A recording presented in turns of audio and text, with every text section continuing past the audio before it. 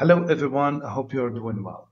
Well, today I'm going to share with you my experience in regard to PhD exam I passed in uh, 2015. And I want to share with you that essay that won me the PhD contest. Of course, as you know, you go to that exam and you most likely are going to write two essays. And well, of course, these two, two essays are going to determine well, of course, your life in the future. Either you're going to be a PhD student and a doctor, or you fail and you try again. So these essays usually are very crucial. And most of the time, or most students, they usually prepare these essays before they go. And in fact, this is what I have done because so many students now ask me, how did you revise and how, uh, how do you advise us to revise concerning the PhD contest? I will tell you what I did. I did simply, I was writing essays. I was writing and writing, trying to polish my, trying to polish my writing styles. And, and this, in fact, is really has really helped me. And when it comes to my writing style, it has become much better. But at the end is what I did. I was, I was trying to write, write essays, try to predict questions that I can, I, I may face when it comes to a PhD contest. So Today, I decided to share with you that essay that really, really changed my life. So what was it about and how did I answer it? Because of course, I'm not only going to share with you, in fact, how I was thinking, what was, what was my strategy concerning my writing style. So let's begin first. The question that I got was, was I don't remember it, it was in Adrar 2015, and it was mainly about eclecticism but it was not 100% eclecticism, but it was concerning whether any approach is good, like adhering to one approach in teaching is beneficial, or um, I think the question was like, there is no one single approach that is can help in the language teaching. As you can see, all these questions they are most likely similar so if you talk about eclecticism if you talk about that there is no one single approach that can help for example if you talk about the use of, co uh, of combination of approaches admitted in one session. All these will, in fact, be answered in the same way. Well, of course, there's few differences, but still, we will have the same answer. So let me review my essay with you. What did I say? I said, for example, I begin with the history of second language teaching as marked by numerous approaches and methods. It's a cliche introduction. Uh, I do it all the time. And often these methods come as a result of a general assumption about language and language teaching and the focus of specific skills.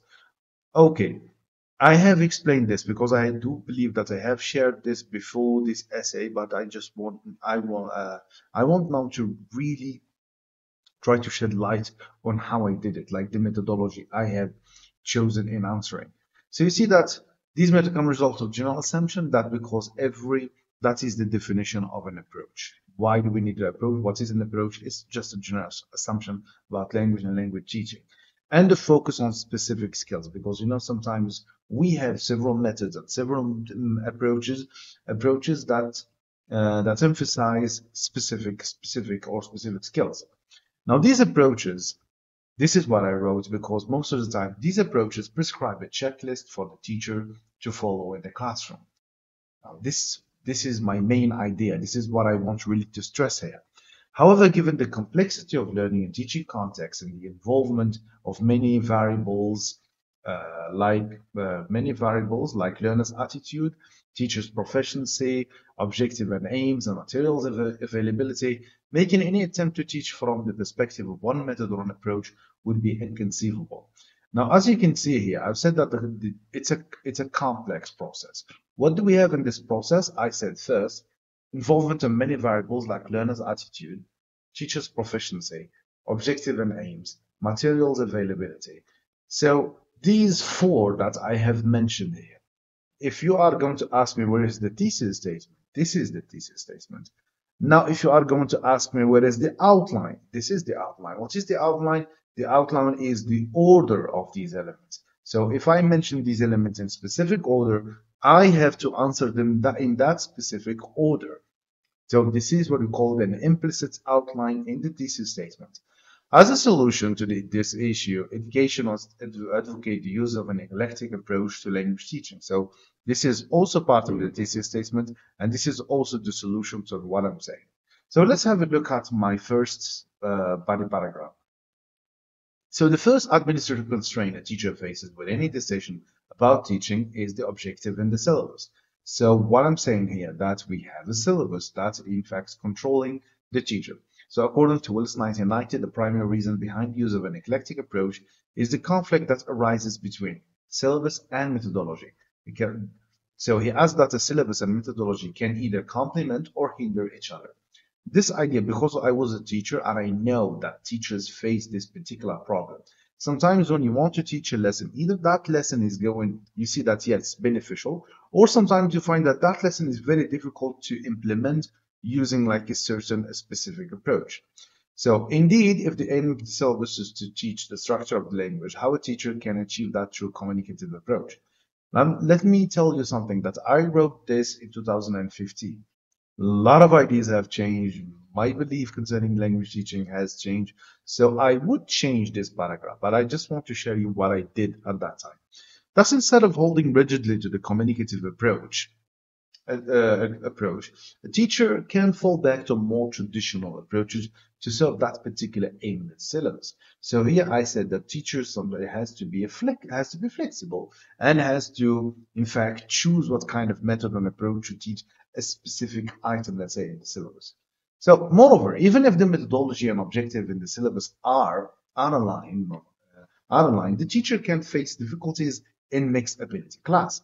So I said, I'm not contradicting even what I said in the beginning. Even if everything is good here, we can have mixed ability class. Every learner has his own attitude towards a foreign language. This is, remember, this is my second idea when I mentioned in my thesis statement. And each one has unique ways of learning. Thus, a teacher has to be flexible to accommodate all this diversity. This diversity, because this should not be there. Now, consequently, a single method may serve some learners while rendering others unlearned. Not sure if it's really correct, but I wrote it that time. For example, many teachers in rural, area, rural areas in Adrar, I always advise that you give examples, you try to give realistic examples that reflect your, really your experience. At that time, I was a teacher, so I was teaching in rural area.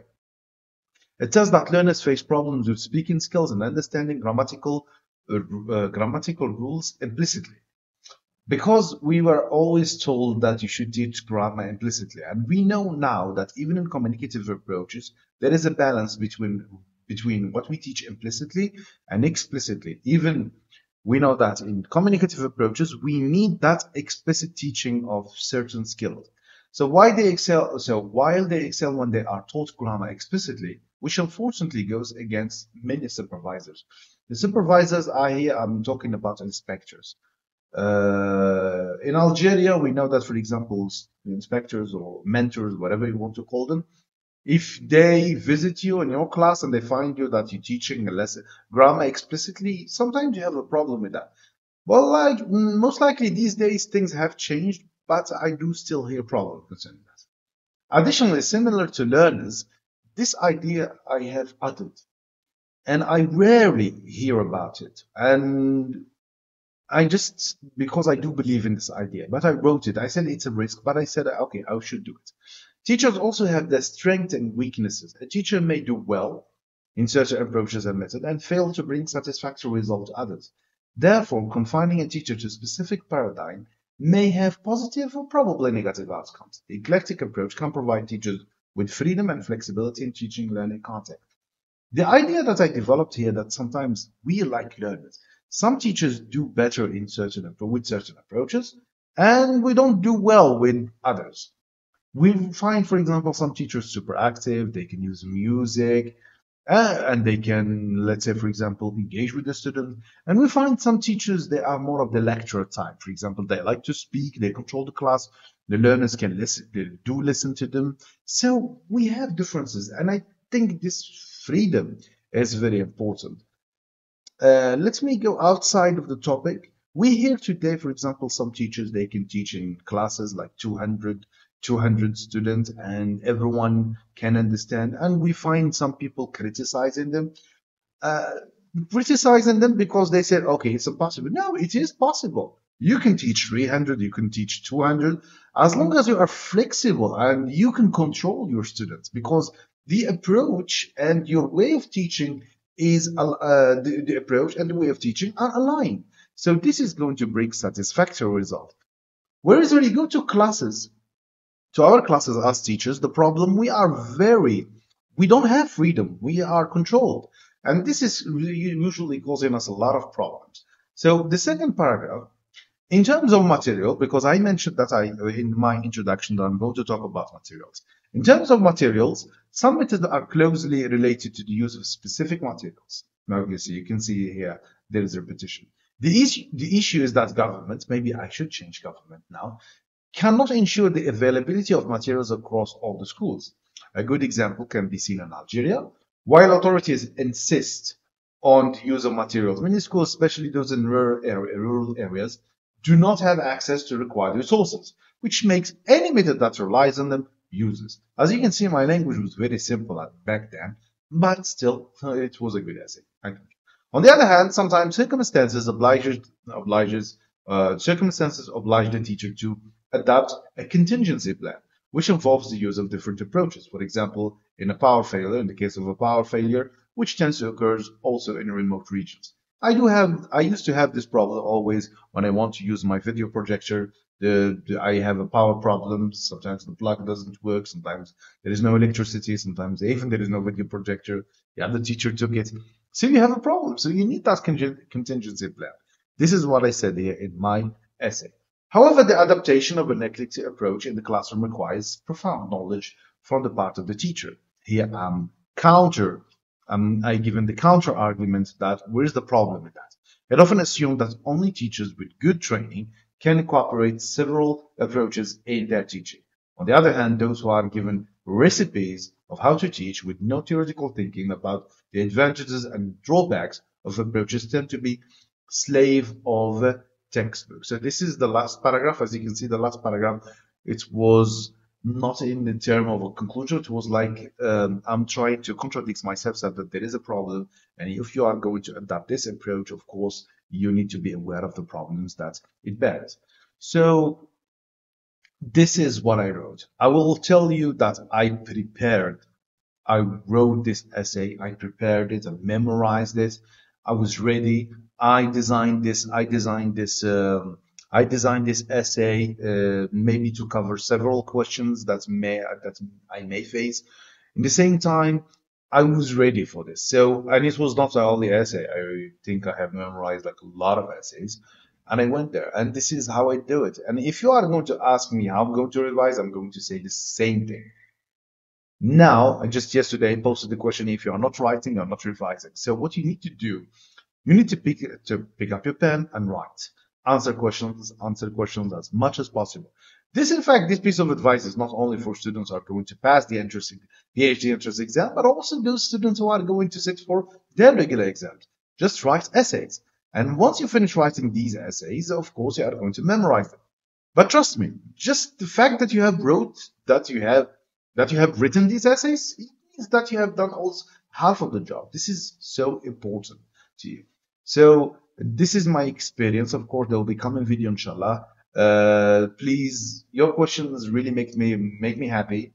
The same thing concerning your comments, your encouragement. I need you to subscribe. I need you to follow this channel, my Facebook channel. Uh, with your support, inshallah, this channel is going to grow. So thank you so much and see you next video.